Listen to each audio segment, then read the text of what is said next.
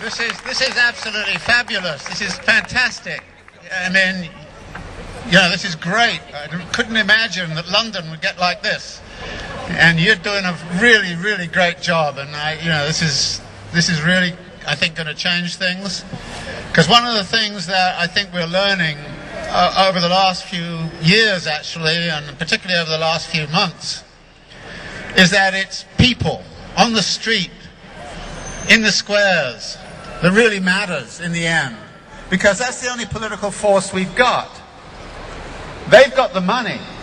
They can buy politics. They can buy the media. They can buy anything they want. We don't have that. The only thing we have is people.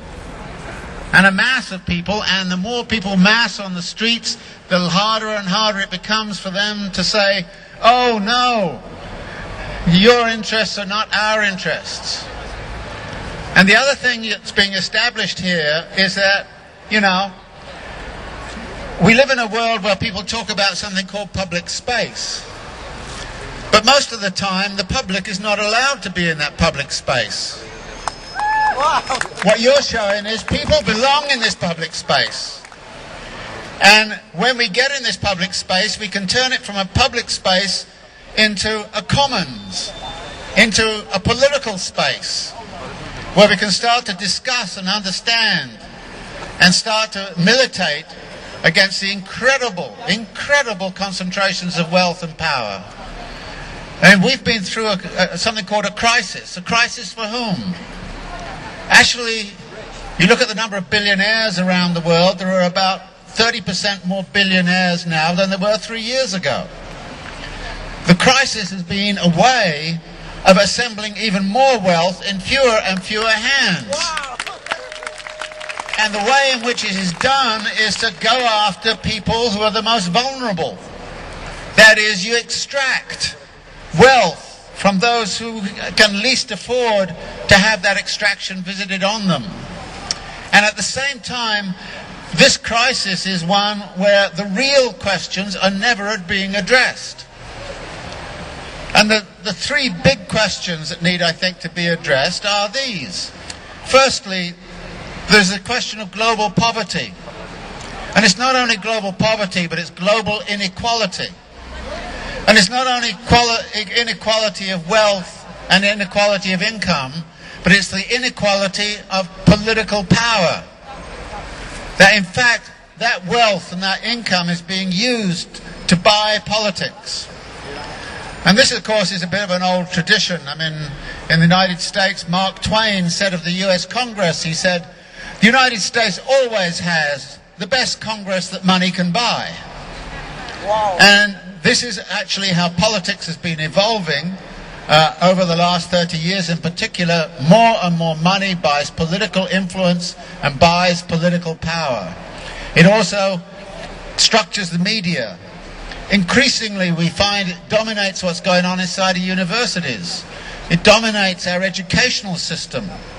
So that the universities increasingly become places where all you learn is neoliberal ideology, where all you learn is corporatist managerial techniques.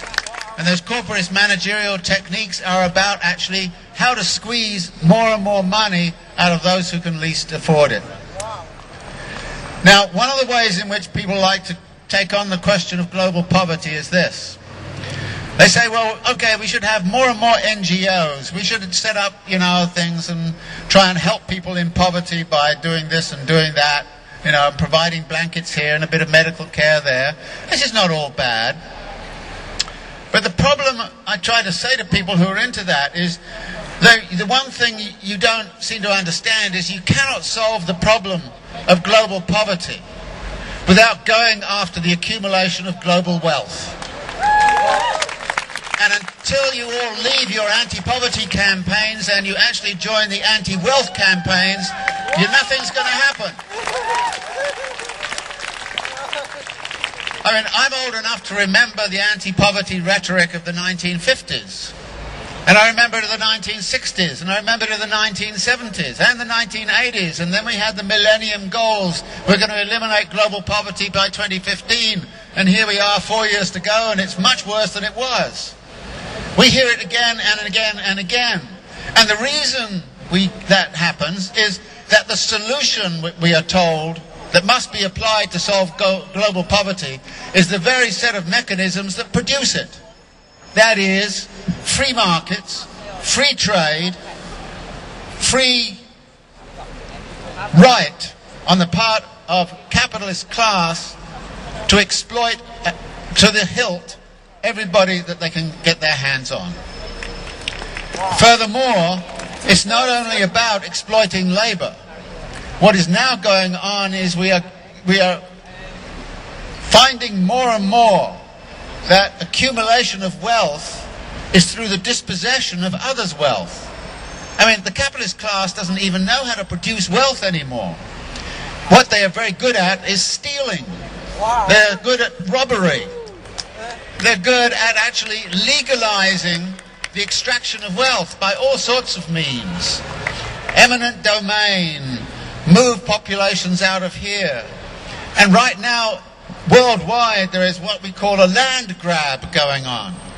That is, an attempt to collar all of the resources of planet Earth so that actually a small group of people effectively control all of the resources which can allow social life to flourish. We cannot let that concentration of wealth continue.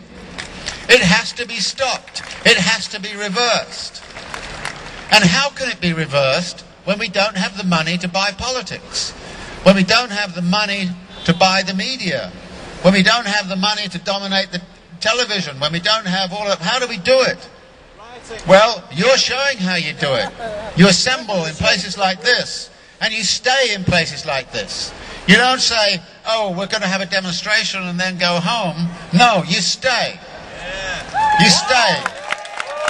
And the fact and the fact that you're staying is, I think, the most significant, one of the most significant political events that's actually happened over the last 10, 15, even 50 years. Because this, 600? Okay, 600. Let's take it 600.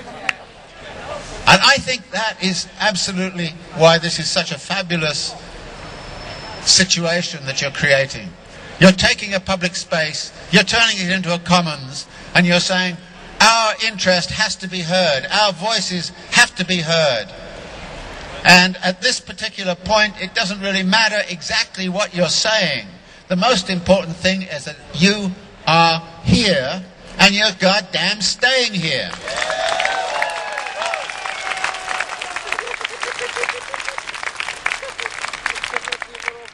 Now, I suggested that one of the big problems in the world is global poverty. Now, that's associated with something which is another aspect of, I think, our political situation. Capital works in such a way that it incurs certain costs in what it does. But what it also does is to try to shed those costs on and make somebody else liable for them. And there are a whole bundle of costs which are associated with the reproduction of society. We talk about education, we talk about health care, we talk about basic human services, we take a, talk of caring for the elderly, we, we talk of dealing with, with uh, the, the, the, sort of the, the, problems that are created through alienation in a, in a terrible sort of work environment. We talk about all of those issues. What the economists have a little word for this. They call it externalities. And what's meant by that is that actually you take a cost which you should bear, but you get rid of it. You turn the cost into an externality that somebody has to pay for. Well, since Thatcher, there's been a systematic assault to try to turn all of the costs of social reproduction into externalities, costs that capital will not bear. You bear the cost of your own education. You bear the cost of your own health care. And if you get sick and you die, that's your own fault. Wow. It's not capital's fault. Now, in the 1950s and 1960s, the state was forced by political circumstances to, some, to bear some of those costs and to tax capital to bear some of those costs. But what Margaret Thatcher started to do is to say, look, we are actually not going to pay those costs anymore, they're up to your personal responsibility. It's your own personal savings. It's your own personal life, and you have to take care of it. And if you don't care, take care of it and get into trouble, that's your problem. Now, that was what Thatcher launched. And actually, there's a pattern that goes on here. Everybody thought when Thatcher was gone and got rid of Major as well that things would change. No, we got Tony Blair. And what did Blair do? He deepened what was going on. Blair started to introduce the top up fees and universities. Blair is the one who started to push this Thatcherite agenda even further. And right now, what we've got is a situation where the Thatcherite agenda is with us even though she's long gone. And this is a global problem. I, I mean, I was in Chile recently. Fabulous situation in Chile, and I hope you can establish links with them. The students there have occupied all of the public universities. And like you, they're not moving. They're not going anywhere and they've been doing it for four or five months. Quite a few of the high schools are actually occupied. And what they're saying is this Pinochet privatized all of the educational system. When Pinochet went and we got social democracy, we got rid of the dictatorship, we imagined that things would change. They didn't change. In fact, they've got worse. So what we have to do is to end that process that Pinochet started. This is what they're saying. And we have to end what Thatcher started and reverse it entirely. In other words, what we have to have is a political program to end the whole Thatcher era. Because it is not ended at all. And what we see with the current conservatives right now is they want to make it even more Thatcherite than Thatcher. So this is, if you like, what the political task is. And it is to force capital to start to bear a lot of those costs that it doesn't want to bear. It should take care of education. We should have a free, decent education for everybody. And it should be an equal quality education. None of this nonsense about if you go to this, you go live in this suburb, you get decent education, and if you live in the inner city, you get crap. No, we should actually equalize educational opportunities everywhere. And that is indeed, and the same occurs with questions of healthcare. And the same thing happens with, with almost all of the forms of social services. They have to be revolutionized. And they have to be actually transformed in such a way that they're not run through some abstract bureaucracy, but they're run on a popular kind of basis. In other words, what we want is not simply the re-establishment of some bureaucratic uh, welfare state. What we want is the restoration of the right to decent health care, decent caring, and that for that to be actually then rendered on a popular basis. It is, if you like, popular assemblies that should decide about hospital populations. It's things of that sort that need to be uh, uh dealt with in a much more democratic kind of way. The other huge problem there is globally is the problem of environmental degradation. Again, capital does not want to bear those costs. It says basically, well, if islands go underwater because of global warming and sea level rise, let other people bother with the costs, not us. So again, it's a matter of real costs which are visited upon people all around the world. Indigenous populations in particular are being very hard hurt by all of this. These costs have to be brought back and capital has to be forced to pay those costs. But they're not going to do it voluntarily. They're only going to do it if they're forced to. And they're going to be forced by political processes and they're going to be forced by political opposition.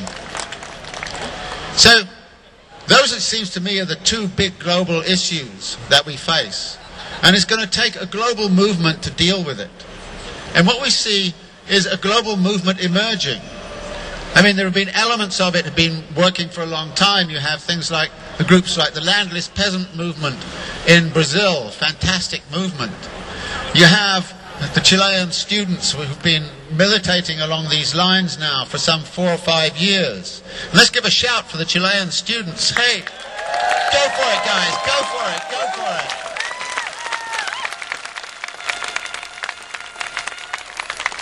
We have a we have a Maoist uh, uh, we have a Maoist uh, insurrection in in central India, which which is portrayed as a very cruel and horrible kind of thing, but it turns out if you read Arundhati Roy or somebody like that, these are people who are really struggling just to stay alive in the circumstances where they're constantly being attacked by political power and by the police power uh, of the state apparatus. And the same would be true in, in countries like Bolivia, where you see kind of indigenous populations mobilizing, and they have mobilized in very, very strong kinds of ways. So all around the world, there is a growing sense that this system, which is being constructed, does not and cannot work. And furthermore, it must not be allowed to work any further.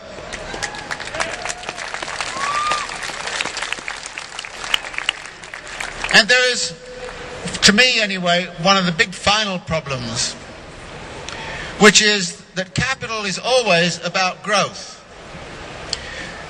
You see the newspapers, and what do they say? They say, oh, there's a crisis. We have no growth. And people only stop talking about crisis when we get 3% growth. Minimum. Which means that this, uh, this form of society we live in is actually given over to compound growth forever. 3% compound growth forever. Now, think about that for a moment. 3% compound growth on all the resources that we consume.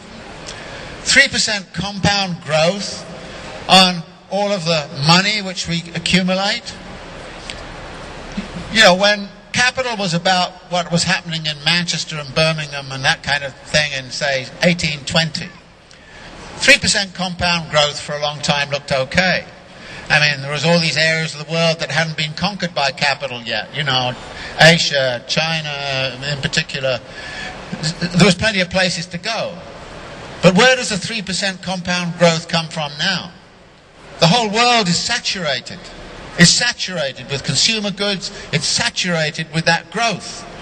And what has to happen is we have to start to think about the move towards a zero growth economy. And as we think about that, what we have to understand very clearly that that is a non-capitalist economy.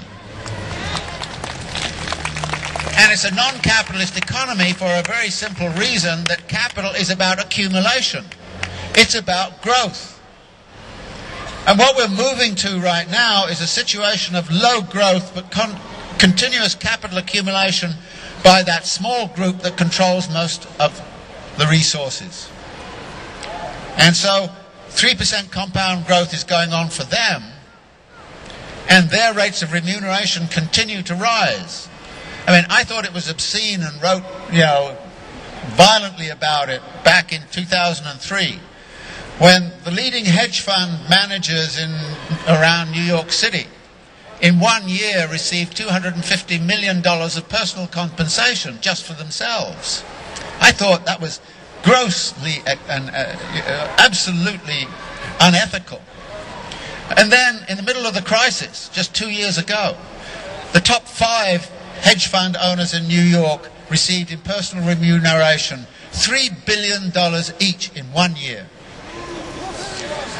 Now, what my students say to me is, How do you become one of those? and I say, Well, you know, you can go try, but they've got it all locked up. There's no way you're going to get in. So the only way you can really get a piece of that action is to make sure you reclaim it back. Now, when you look at the structure and you say, look at the bonuses, the billions of bonuses.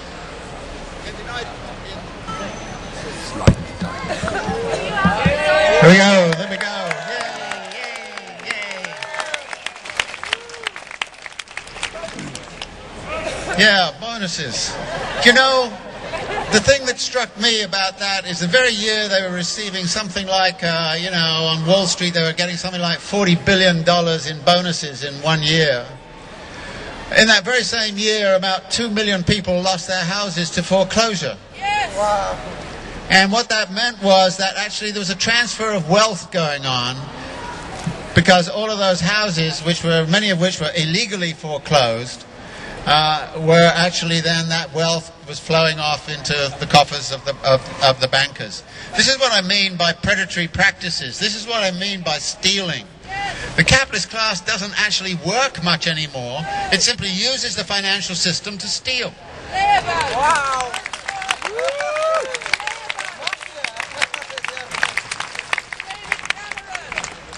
Now, one of the things that then uh, occurs to me, and, and I think this is, this is significant, is to start to think about how to organize political movements that actually have a big impact.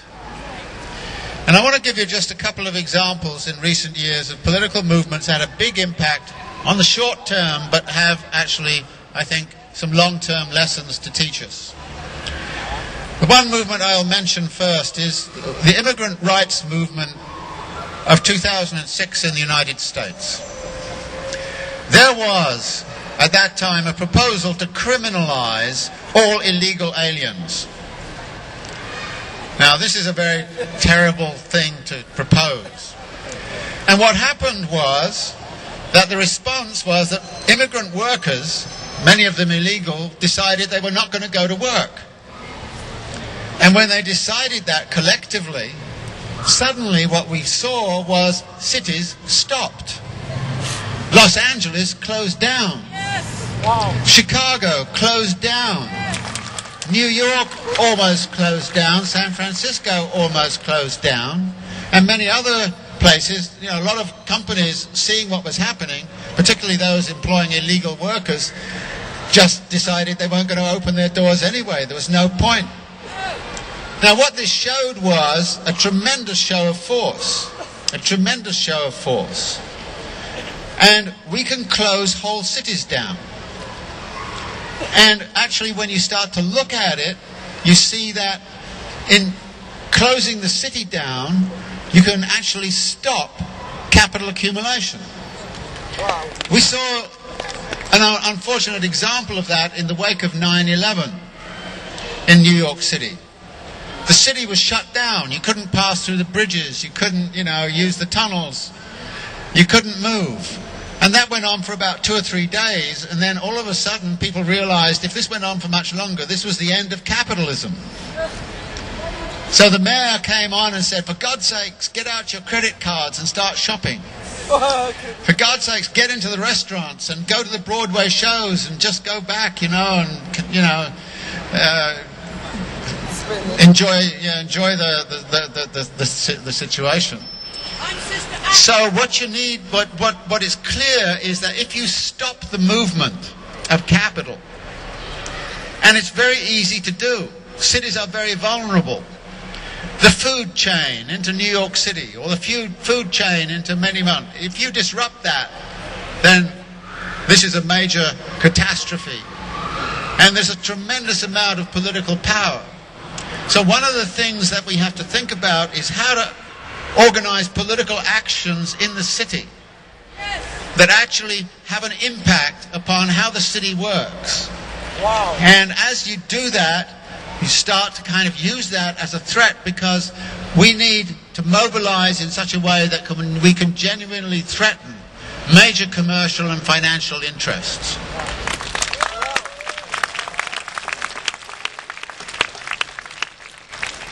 And one of the other examples I would mention is would be a city like uh, Cochabamba in Bolivia or El Alto in Bolivia. I mean, El Alto, essentially a city, uh, in a way, the whole city went on strike. And it brought down two presidents. Yes. And because it brought down two presidents, it meant that Evo Morales could get elected. So, yes, indeed, bring down David Cameron. How are you going to do that?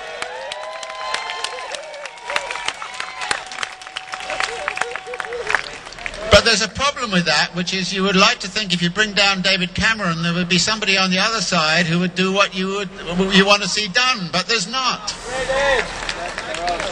So what we need to do is to start to build a political force that actually forces somebody on the other side to do what you are asking for, which is move away from this gross inequality of wealth, take care of the environmental dilemmas, and take care of that and, and actually do something radically different to end Thatcherism. That is what we have to do and clean it out. Clean it out. Start all over again. Start all over again. And how do we do that? Well, you have to start from the bottom up, and this is again something that's very, very significant here. That this movement is not guided by some ideology from the top down. It's guided from the bottom up, and that is crucial. Because until we know how to create democracy at the local level and then build that democracy into com- configurations that remain democratic right to the top, then we are not going to be able to implement a program. We will see good ideas co opted by capital. And that is one of the most serious difficulties of any political movement. You come up with good ideas and then they co opt them for their own purposes. No. But just going back to the immigrant rights movement, the interesting thing about it was the way it got demobilized was by actually dividing the immigrants from other low paid workers. And in particular, it pointed to the immigrants who were mainly Hispanics, and it then, the right wing had this enormous propaganda campaign in which it said, basically, unemployment in the African American community is due to Latin American immigration. It divided. It divided. And because it divided, it ruled. So one of the things that seems to me is terrific about these, these assemblies is that it seems to me there is a spirit that says even though we're very different, we have different ideas, we will not be divided.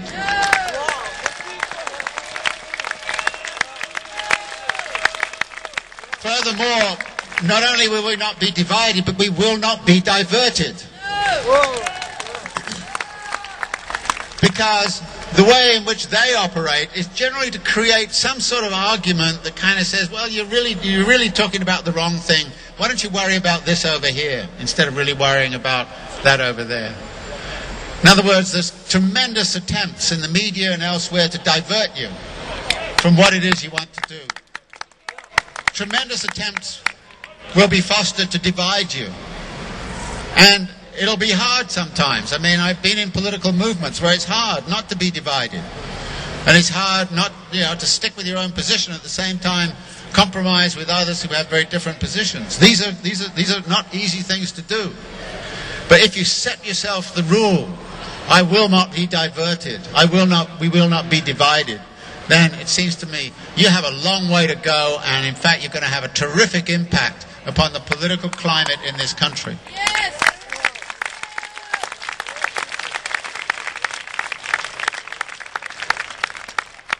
So these, it seems to me, are some of the issues that I, I would want to bring to the table.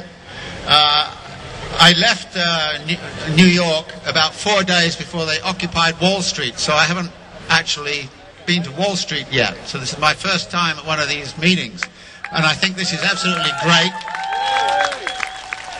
And I think that actually, you know, when I get back, I'm going to try and, you know, get together with the Wall Street folk as well. And what I would, I'm sure they would want me to say to you is, you know, keep the struggle going. Keep going. The struggle continues, as they say, you know, keep it going. And, and that is the, the, the crucial question that we have to be persistent as well as, uh, you know, undiverted and undivided. So I'm going to stop here because I want to have a, a, a sort of more of a conversation and get some kind of responses from uh, from what you think and how you think. Because I would want to take some ideas back uh, with me uh, to the United States when I get there, and and, and perhaps also uh, when I return to Argentina, which I will uh, uh, try to have some conversations there. Because this movement is not just about London. You're, you're in the heart of the, the, the you're in the heart of the beast, the belly of the beast, and your job is to give the beast stomachache. And, and I think uh, but the, the, the more stomachache they get, the more grouchy they're likely to get. So you, you, you have to understand that that is, that is likely to happen. And then you have to stiffen your resolve. This is going to be a long haul for, for all of us, I think. And, and I, so I congratulate you on what you've done. This is a marvelous kind of site, and I think it's a marvelous initiative that you've taken. And I think that, you know, like I say, this is going to change politics in a very fundamental way. And I, keep at it, keep at it, keep at it.